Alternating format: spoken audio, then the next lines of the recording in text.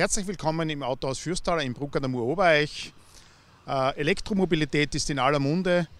Das neueste Pferd in unserem Stall für Sie, der neue Polestar 2. Äh, der Polestar 2 ist ein Fahrzeug aus der Elektromarke von Volvo.